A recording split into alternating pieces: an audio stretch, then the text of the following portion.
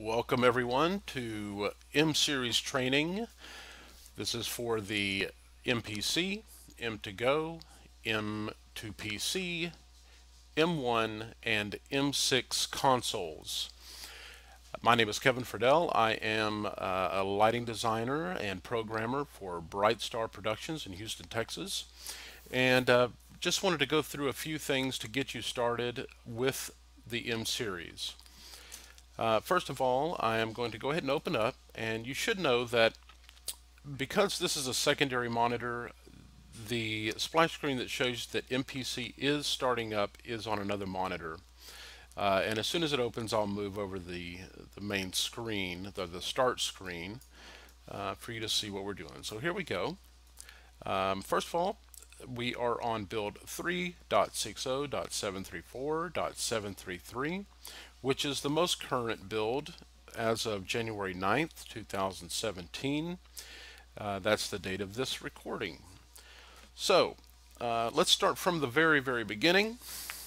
We, uh, you'll notice here that there are four icons uh, to choose from. First of all is New Show, which should be self-explanatory, starting fresh, no information in the show.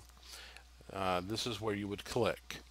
Uh, if you're going to load a show, like you have uh, something on a thumb drive or a previous show that you've been working on, you would click here.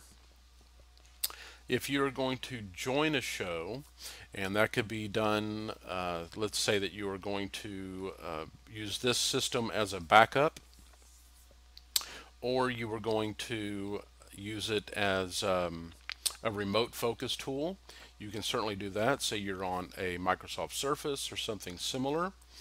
Uh, and then, of course, you can continue a show, which is the last show that you worked on in your system.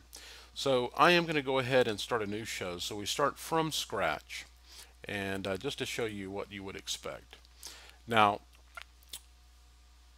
uh, let's call this um, M series training. And we're going to go ahead and hit OK. So we see that it's loading. Give it just a couple of seconds here and we'll be up and ready to go and I'll explain some things to you. So this is uh, what you're going to be presented with um, when you first open a show on either MPC, M2Go, or M2PC. And the reason why that is is because this is formatted for a different resolution screen. And of course, most modern screens are going to be 1920 by 1080 um, or higher resolution. Now, I will tell you that the higher resolutions as of this time do not uh, do very well. So you want to make sure that you um, are on no more than a 1920 by 1080 screen in order to get the most use and uh, the most stable results from your um, GUI here. So the first thing we need to do is uh, make this fit the screen and there's a couple ways of going about that. And the first thing is is you could go up here to the blue ball where the little down arrow is. You could unlock screens click away. You now see that you have a series of dots a grid and you could simply just drag uh, drag these out and um, fill up the screen that way. But we're um, this is kind of cumbersome so what I like to do is go into the uh, sample layouts and let me go ahead and record this just so you can see that process and lock it.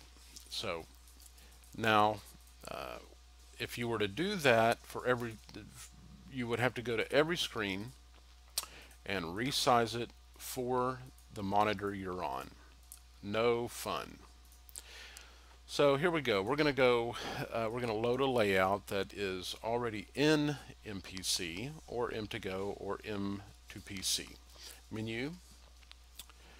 And then we're going to go to, uh, under Show, Load and Save. And you'll see here, um, down at the bottom, My Show, reports, screen layouts, and settings. Let's go straight to layout. And it says load screen layouts. Load. We'll go to samples, layouts, and I'm on a 1920 by 1080. And I'm going to use the 2016 version. Hit open. And there you go. It has now filled up the screen pretty well. There's, you know, a little gap here, but it's still usable.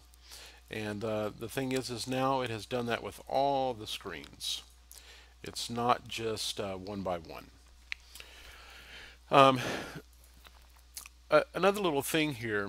Um, now, once once the screen is open uh, and you've loaded that preset, uh, the the, the uh, screen layout, um, I would suggest that you go ahead and modify your programmer and fixture center so that um, you get all that you can out of this area here, the, the fixture center. So the way I'm going to do that is I'm going to hit MPC and I'm going to unlock that screen. I'm going to move this down. Let me grab the side here. And then I'm going to come over to groups. I'm going to turn the filter on. And to me, this is the power of Fixture Center, is this the filter here. And um, let me go ahead, just because I'm a little OCD, go ahead and extend that to where it fills the screen. Uh, here's something real important. You Once you do this and make a change to a screen, it's very important that you right-click uh, on your uh, screen name hit record screen and here you can rename it or just keep it the same and hit OK and then hit lock. Um, if you do not do that, if you don't record this screen, not necessarily unlocking the screen, but if you do not record this screen, when you go to the next screen and come back, well, the things you changed will not be there. And I'm going to demonstrate that to you real quick. So under 2D plan here, you'll see that there's um, a little bit of space on the bottom. So I'm going to unlock this screen and I'm going to um, change the size of that and then I'm going to lock it again. So I can't do anything here, but if I go to program and then I come back, bam, it has lost that because I didn't record those changes. So uh, very important that you do that. And that is how you record your first screen and get your, your layout so that it fills the screen.